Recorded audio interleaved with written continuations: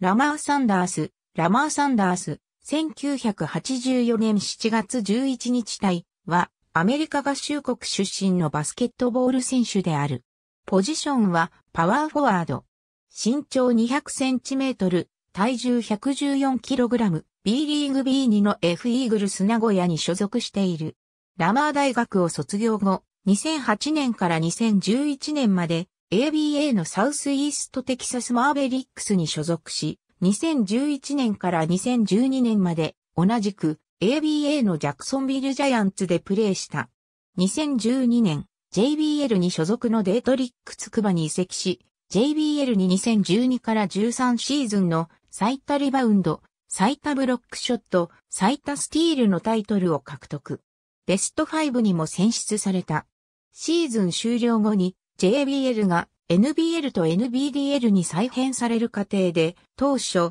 NBL に加わる予定だったデートリックが脱退することになり、サンダースはデートリックと同じくつくば市を本拠地とするつくばロボッツに移籍した。ロボッツには NBL2014 から15シーズンまで所属した。2016年には古巣、サウスイーストテキサスマーベリックスの流れを組む、ケンタッキーマーベリックスに復帰し、同年10月には B リーグ B2 の F イーグルス名古屋と契約した。ありがとうございます。